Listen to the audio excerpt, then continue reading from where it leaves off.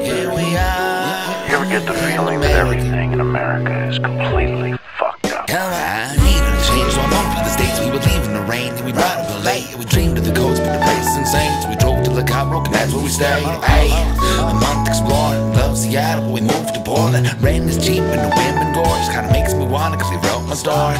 Last year when fucking small, but we loving it.